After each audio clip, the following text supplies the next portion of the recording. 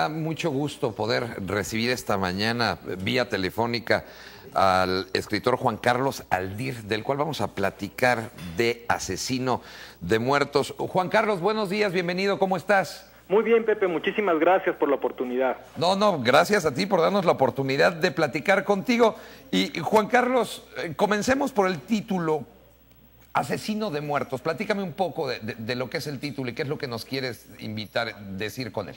Eh, claro que sí. Lo que sucede es que en la novela yo traté de explorar eh, qué sucedería si una persona, digamos, de normal, como cualquiera de los televidentes que tenemos hoy, se viera en una situación en donde tuviese un enorme apremio económico y le propusieran asesinar a alguien. Entonces, en ese sentido fue el desarrollo de la novela y el personaje central, que se llama Esteban, pues se encuentra justamente en esa disyuntiva. Y lo que sucede es que como a él le señalan a las personas a las que él habrá de matar, pues él considera que esa gente la van a matar de cualquier manera, lo haga él o lo haga otra persona, y a él le parece que pues no es tan grave tomar ese dinero, porque a fin de cuentas ya es un muerto, por eso él se asume como asesino de muertos y es como su justificación mental para pensar que pues que no está haciendo tanto daño, ¿no? Y bueno, claro, evidentemente conforme la novela avance, pues en algún momento tendrá que enfrentarse a esa misma disyuntiva, pero frente a alguien con quien tiene un vínculo emocional, a quien conoce y entonces las cosas pues ya no le serán tan fáciles. Juan Carlos, eh, ¿tuviste que hacer una investigación especial, no sé, a lo mejor charlar con algunos sicarios, alguna cosa de estas, o, o esta novela sale solamente de, de, de tu inspiración y, y, y, de las lecturas que a lo mejor todos los días podemos tener en las noticias y en los periódicos. Sí, bueno, una entrevista propiamente con un sicario no, porque en realidad tampoco me interesaba demasiado el sicario por sí mismo. Hice una investigación documental para enterarme de lo que estaba sucediendo más o menos en el país, para luego poderme olvidarlo en cierto sentido y enfocarme en el drama del personaje y pensar qué es lo que puede o no hacer una persona digámosle normal. Yo no estaba tan enfocado en un sicario profesional, en alguien que lleva años o que, o que su entorno de vida lo fue conduciendo un poco a, esa situación, sino alguien que aparentemente tiene una vida normal, tranquila, y se ve tentado. ¿Qué, ¿Qué, sucedería en ese caso? Y ese fue el papel que yo asumí.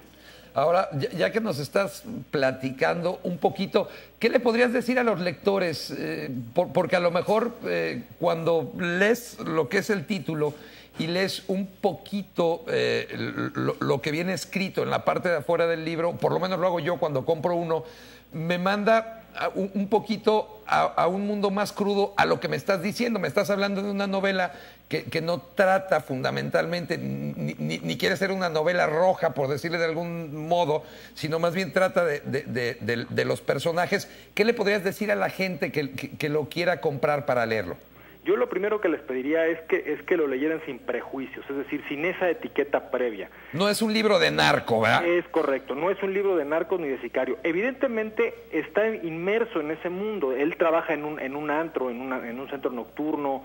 Este, está, está, rodeado por una serie de circunstancias que, que favorecen que ese escenario se dé.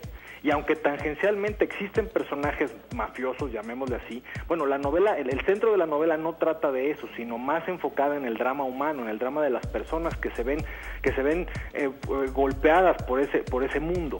Entonces yo lo que le pediría al lector es que me dé esa oportunidad de leerlo sin un prejuicio, sin pensar que se va a encontrar ahí un crimen tras otro, tras otro, tras otro y salpicaduras de sangre por todos lados.